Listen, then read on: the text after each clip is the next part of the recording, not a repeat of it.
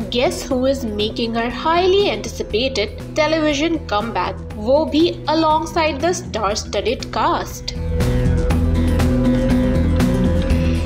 Sohai Ali Abro. जी हाँ जवानी फिर नहीं आनी एक्ट्रेस सुहाय जल्द नज़र आने वाली हैं टेलीविज़न स्क्रीन पे विथ हुमायूं सईद एंड यमुना जैदी।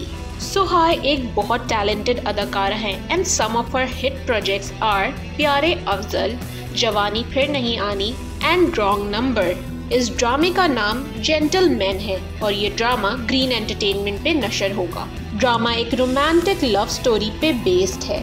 इस ड्रामे के प्रोड्यूसर कोई और नहीं, बल्कि हुमायूं सईद की wife Samina Humayun Saeed and sister in law Sana Shahnawaz हैं। साथ ही इस ड्रामे को खलीलो रहमान कमर ने लिखा है। Let us know in the comments कि आप सुहाय को दोबारा अपनी टेलीविज़न स्क्रीन पे देखने के लिए कितने एक्साइटेड हैं।